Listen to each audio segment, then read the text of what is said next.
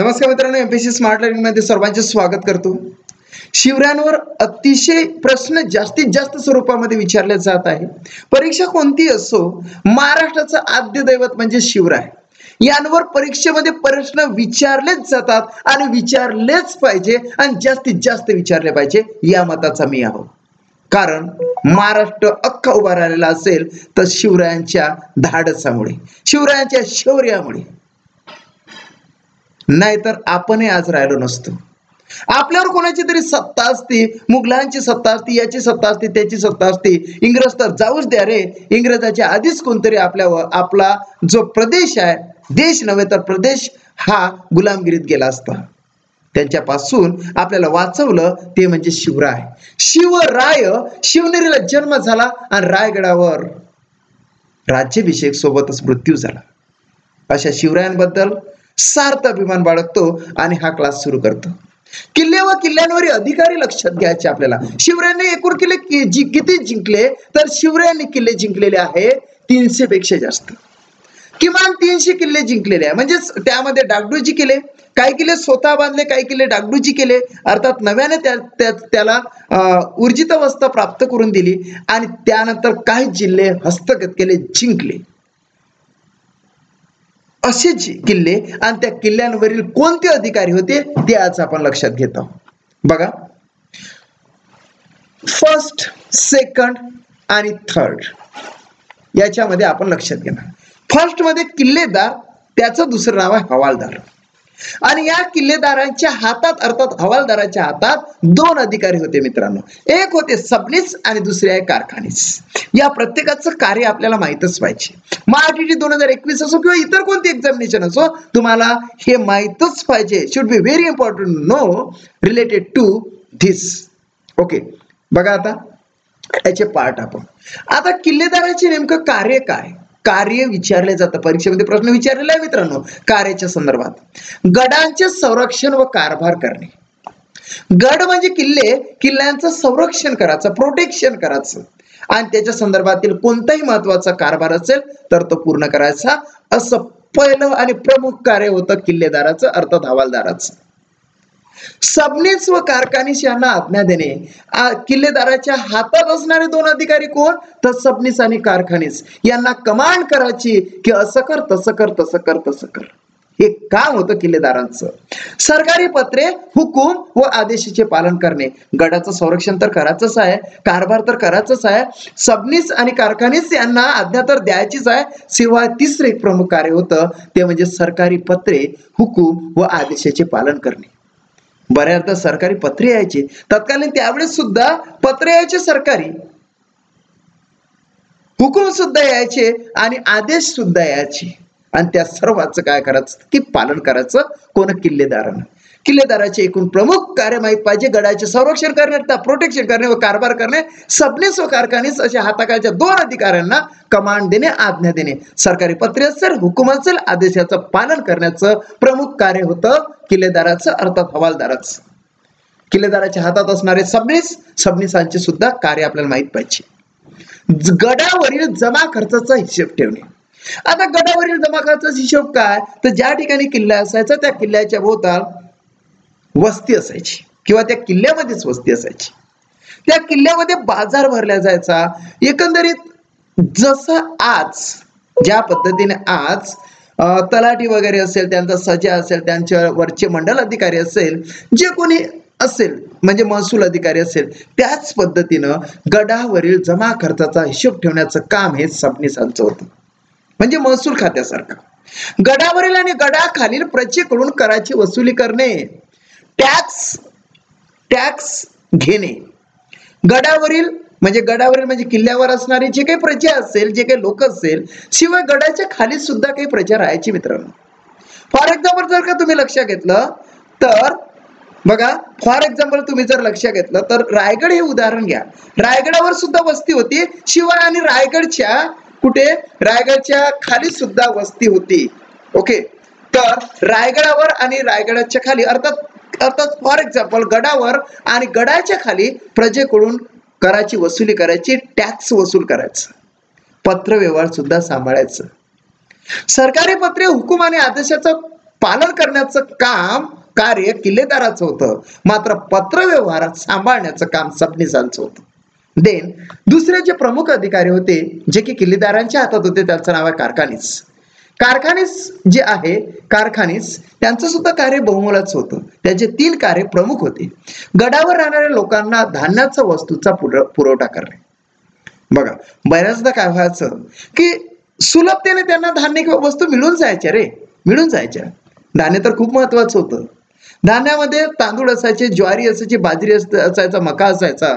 त्या धान्याचा पुरवठा करणे सप्लाय करणे हे कोणाचं प्रमुख काम? तर कारखानीचं. सप्लाय करण्याचं. युद्ध प्रसंगी तर हे काम खूपच महत्वाचं होतं. युद्ध चालू आहे. गडावरील किल्ल्यावरील शिदोरी संपत आहे. अर्थात धान्याचा साठा संपत आहे. सर्वात जास्त प्रमुख कार्य तत्कालीन त्यावेळेस असायचं कारखानीच त्यावेळेस मोठ्या शौर्याने ते कुठून तरी ते वस्तू गोळा करून ते धान्य गोळा करून त्याचा सप्लाय करण्याचं काम हे कारखानीचं असायचं. शिवाय युद्धाच्या वेळी तोफांना बंदुकांना लागणाऱ्या दारुगोळ्याची व्यवस्था करायची. युद्धाच्या वेळी ज्यावेळेस युद्ध व्हायचं फाईट व्हायचे दोन मुघल चालून यायचे इकडून इंग्रज चालून यायचे कोणीतरी आपल्यावर मारा करायचं. त्यावेळेस तोफा असायच्या टोप तोप डाकल्या जायची.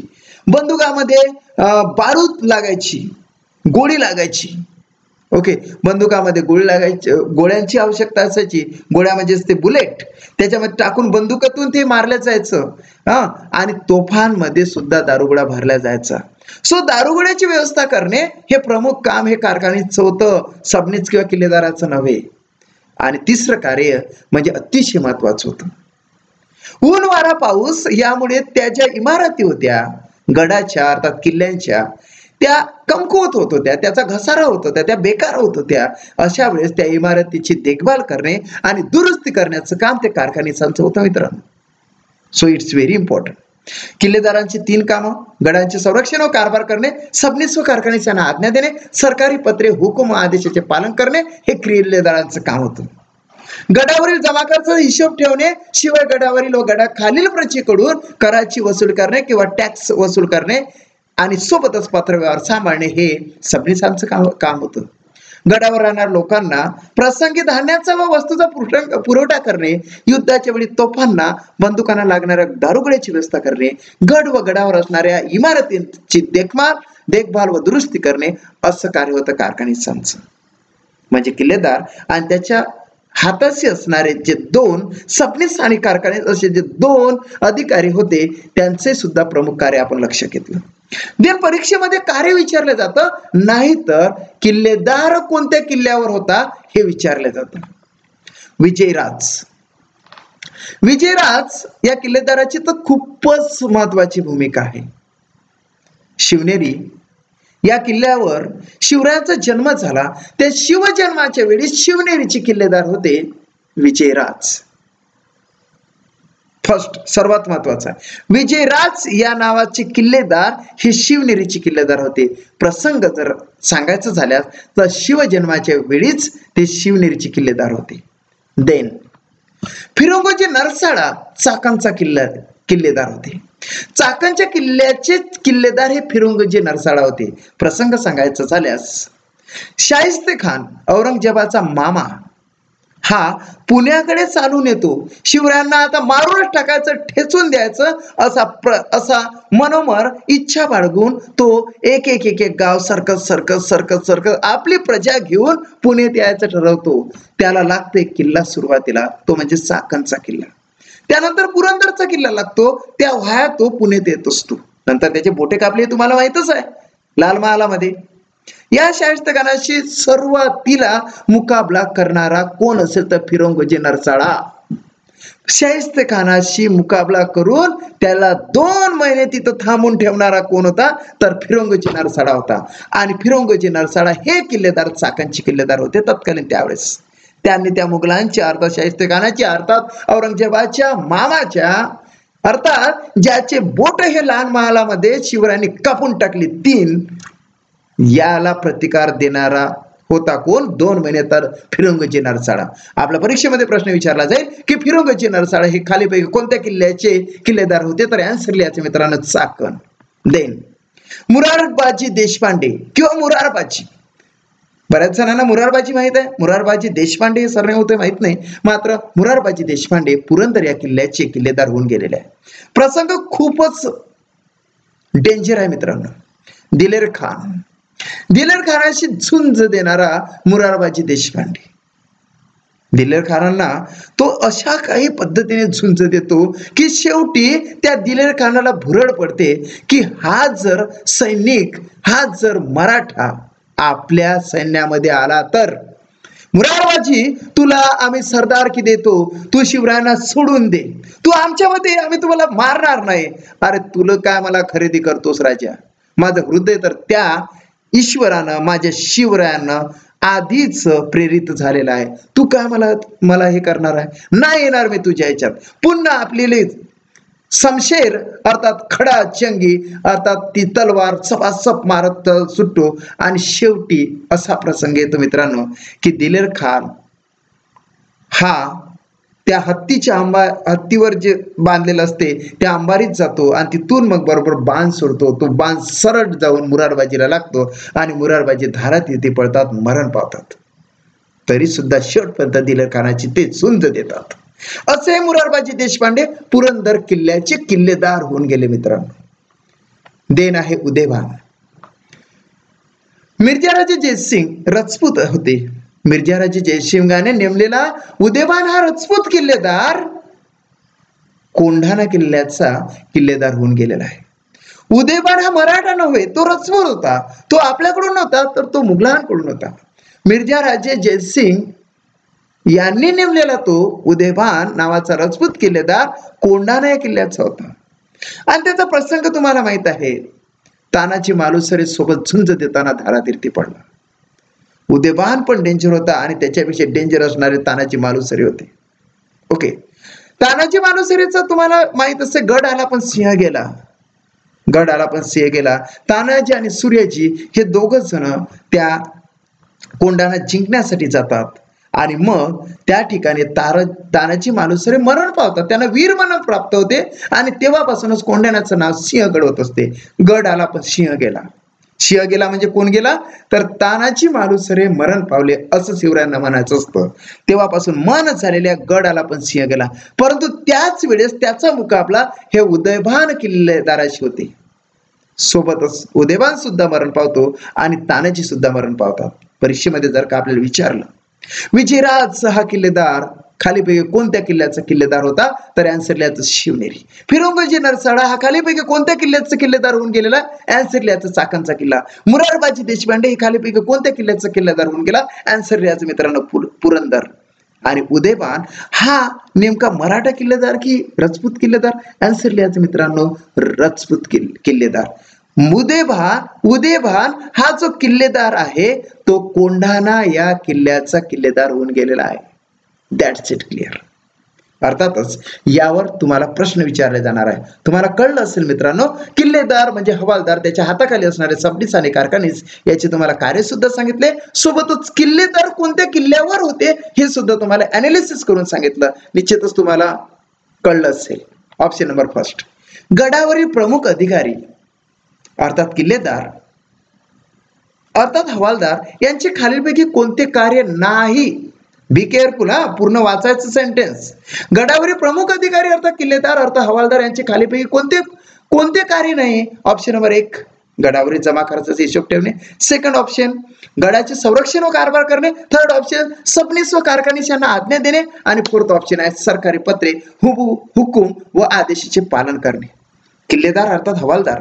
यांचे प्रमुख कार्य नाही असे विचारण्यात आलेले आहे. कोणतं नेमकं कार्य नाही आहे? कोणतं नेमकं कार्य नाही. यापैकी तीन कार्य त्यांचे आहे. एक मात्र कार्य त्यांचं नाही. त्यांच्या हाताखाली असणारे सबनीस आणि कारखानीस पैकी दोघांपैकी एकाच ते असेल.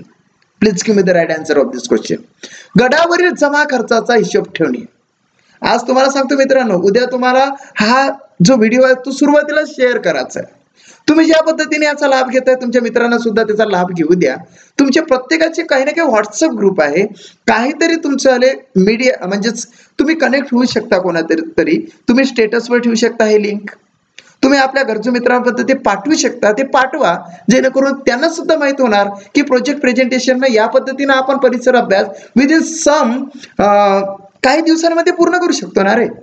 प्रोजेक्टनुसार हा तीस चाळीस जरी प्रोजेक्ट आपल्याला हे झाले पाच दहा दिवसामध्ये तरी भरपूर झालं. ओके ओके आन्सर फर्स्ट आहे. बघा फर्स्ट येतं.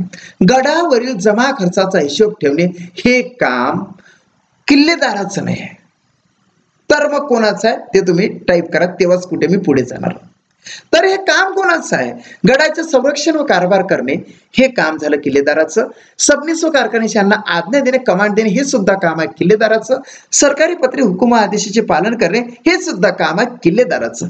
गडावरील जमा खर्चाचा हिशोब ठेवणे टॅक्स वसूल करणे हे करणे ते करणे हे काम कोणाचं रे? ओके फटाफट सांगा. इंग्लिशमध्ये टाईप केलं तरी चालते मित्रांनो. फर्स्टमध्ये तुम्ही सांगितलं की नाही कार्य नाही आहे. किल्लेदाराचं किंवा हवालदाराचं कार्य नाही आहे. नेमकं मग कोणाचं कार्य कार्य आहे? यस सबनिसांचं कार्य आहे. रायडर्स आन्सर आलेलं आहे. देन सेकंड गडावरील प्रमुख अधिकारी किल्लेदार व हवालदार यांचे खालीपैकी कोण कार्य कोणते? आता नेमकं कार्य कोणतं आहे? असं विचारण्यात आलेलं आहे. नाही असं विचारलं नाही मित्रांनो.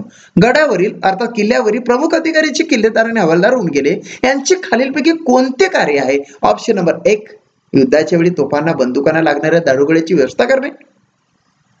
अरे अरे हे आहे का? नाही वाटत. हे कारखानीसाच आहे. असा विचार करायचा. नेक्स्ट पत्रव्यवहार सांभाळणे अरे यार नाही वाटते. हे सुद्धा नाही आहे. हे सबनिसांचं आहे. थर्ड आणि फोर्थमध्ये सांगणार नाही मी. सबनीस व कारखानीशांना यांच्या आज्ञेचे पालन करणे अरे जरा कन्फ्युजन वाटतं. सबनीस आणि कारखानीस यांना किल्लेदार हे आज्ञा देत असते. आज्ञाचं पालन करणे असं कसं होऊ शकणार? आणि फोर्थमध्ये आहे सरकारी पत्रे हुकुम आदेशाचे पालन करणे.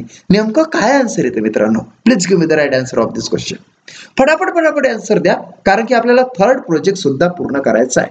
Should be very important okay. गडावरील प्रमुख अधिकारी किल्लेदार हवालदार यांचे खालीपैकी कार्य कोणते? तर अँसर येतं. Answer second second second second second second बघा ना तुम्ही अँसर काय दिलं. मला माहीत होतं हंड्रेड अँड वन पर्सेंट एका दुसरा तरी विद्यार्थी थर्ड आन्सर मारणार. म्हणून मी स्वतःच त्याला उलट केलं. सबनीस व कारखानीस यांच्या आज्ञेचे पालन कसं करणार आहे? आज्ञा देणार ना रे. आज्ञा देणार. म्हणून थर्ड आन्सर नाही येणार मित्रांनो. स्नेहा वगैरे यांनी जे आन्सर दिलेलं आहे फोर्थ अगदी राईट आहे. सरकारी पत्रे हुकुम आदेशाचे पालन करणे हे तर खरं किल्लेदारांच्या तीन कार्यांपैकी एक कार्य आहे. देन शिवजन्माच्या वेळी शिवनेरी किल्ल्याचे किल्लेदार कोण होते? ऑप्शन नंबर एक Udayvan. Second option Firangoji Narsala. Third option आहे मुरारबाजी. आणि फोर्थ ऑप्शन आहे विजयराज. चारपैकी एक आन्सर फास्ट पैकी तुम्हाला द्यायचा आहे. जेणेकरून आपल्याला तिसरा सुद्धा प्रोजेक्ट याच पद्धतीने पूर्ण होणार. Okay please give the right answer of this question शिवजन्माच्या वेळी शिवनेरी किल्ल्याचे किल्लेदार कोण होते? डेली शिवरायांवर एक प्रोजेक्ट आपल्याला असेल एक प्रोजेक्ट आणि दोन प्रोजेक्ट वेगळे असेल. एक तरी प्रोजेक्ट शिवरायांवर असेल कारण की सात पेक्षा जास्त मार्काचं टी मध्ये विचारलं जातं सात पेक्षा जास्त मार्कचे प्रश्न विचारले जातात. Okay yes yes yes fast fast शिवजन्माच्या वेळेस शिवनेर किल्ल्याचे किल्लेदार कोण होते? अँसर आहे विजयराज. अँसर आहे विजयराज. यस विजयराज. मिर्जाराजे जयसिंगाने नेमलेला रजपूत किल्लेदार उदयबान खालीलपैकी कोणत्या किल्ल्याचा किल्लेदार होता? चाकणचा किल्ला कोंढाणा किल्ला पुरंदर किल्ला की शिवनेरी किल्ला? मिर्जाराजे जयसिंगाने नेमलेला राजपूत किल्लेदार उदयबान जो की उदयवान होता खालीपैकी कोणत्या किल्ल्याचा किल्लेदार होता बरं? चाकणच्या किल्ल्याचा होता का? कोंढाणा किल्ल्याचा होता का? पुरंदर किल्ल्याचा होता की शिवनेरी किल्ल्याचा होता? आपण उलटे विचार केला तरी चालते आपण ऑप्शनचा सुद्धा विचार केला तरी चालतं. जे आपल्याला येत नसेल ते आन्सर मारून द्यायचं. ओके फास्ट चारचे तर second second second second second Kondana किल्ल्याचा होता कारण त्याच ठिकाणी तानाजी मालुसरे सोबत त्याच्यावली लटापट झालेली होती. ओके नेक्स्ट पाचवा प्रश्न. दिलेर खानाशी झुंज देऊन धारा तीर्थी पडलेला. दिले दिलेर खानाची झुंज देऊन धारा तीर्थी पडलेला पुरंदरचा किल्लेदार कोण होता? ऑप्शन नंबर एक विजयराज. सेकंड ऑप्शन येतं फिरंगोजी नरसाडा थर्ड ऑप्शन येतं उदयवान. आणि फोर्थ ऑप्शन आहे Murarbaji Deshpande. Please give me the right answer of this question okay फटाफट फटाफट आन्सर द्या. फटाफट फटाफट आन्सर द्या. दिलेर खानाची झुंज देऊन दारातीर्थी पडलेला पुरंदरचा किल्लेदार कोण होता? विजयराज होता. फिरंगोजी नरसाडा होता. उदयभान होता. की मुरारबाजी देशपांडे होते. येस येस येस फटाफट फटाफट पाचव्याचा आन्सर द्यायचा आहे. जेणेकरून आपल्याला तिसरा सुद्धा प्रोजेक्ट आजच झाला पाहिजे. कारण की उद्या आपण प्रोजेक्ट घेणार नाही परवा घेणार आहोत. ओके येस पाचचं चार पाचचं चार. येस मुरारबाजी देशपांडे. अर्थात मुरार मुला मुरारबाजी देशपांडे हे दिलेर खानाशी झुंज देऊन धारात येथे पडलेले पुरंद पुरंदरचे किल्लेदार होते. Okay that's it clear that's it clear okay बघा. सहावा प्रश्न. मोठ्या मर्दुमकीने मोठ्या मर्दुमकीने शाहिस्ते खानाशी मुकाबला करणारा चाकणच्या किल्ल्याचा किल्लेदार कोण होता? ऑप्शन नंबर एक मुरारबाजी. सेकंड ऑप्शन आहे उदयवान. थर्ड ऑप्शन आहे विजयराज. आणि फोर्थ ऑप्शन आहे फिरंगजे नरसाळा. मोठे शौर्याने अर्थात मर्दुमकीने शैस्तिकानाशी अर्थात औरंगजेबाच्या मामाशी मुकाबला करणारा चाकांच्या किल्ल्याचा किल्लेदार कोण होता? मुरारबाजी देशपांडे उदयवान विजयराज की फिरंग Firangoji Narsala. Please give the right answer of this question मोठ्या मर्दुमकीने शाहिस्तेखानाशी मुकाबला करणारा चाकणच्या किल्ल्याचा किल्लेदार कोण होता? मुरारबाजी देशपांडे उदयभान विजयराज की फिरंगोजी नरसाळा? हे प्रोजेक्ट फक्त तुम्हाला महाटीटी दोन हजार एकवीस साठीच कामाचे नाही तर इतर सर्व एक्झामिनेशनसाठी तुम्हाला या पद्धतीने हे प्रोजेक्ट कामाचे आहेत. ज्यावेळेस माझे हंड्रेड प्रोजेक्ट पूर्ण होणार त्यावेळेस मी तुम्हाला डायरेक्टली सांगणार की बाबा रे शंभर प्रोजेक्ट पूर्ण आहे.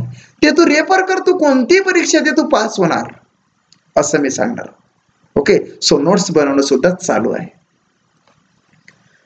तुम्हाला हे जर प्रोजेक्ट लागत असले मला डायरेक्टली कॉल करा. जसा कॉल आला तसंच तुम्हाला ते प्रोजेक्ट फ्रीमध्ये देणार आहोत. मात्र त्यावर आधारित असणारी जी टेस्ट आहे ती मात्र पेएबल असेल. ओके ओके फटाफट फटाफट. सहाचं चार आन्सर आहे. राईट आहे. ओके अशा पद्धतीने आपण हा सुद्धा प्रोजेक्ट किल्ले व किल्ल्यांचे अधिकारी किल्ले व किल्ल्यांवरील अधिकारी जसे की किल्लेदार अर्थात हवालदार सबनीस आणि कारखानीस त्यांचे कार्य लक्ष घेतले आणि सोबतच कोणत्या किल्ल्यावर कोणते किल्लेदार होते त्यांचा प्रसंग कोणाशी घडला हे सुद्धा लक्ष घेतलंय. ओके दॅट्स इट क्लिअर इथेच थांबूया. आणि आणखी एक प्रोजेक्ट तुमच्यासाठी घेत आहोत. लास्टचा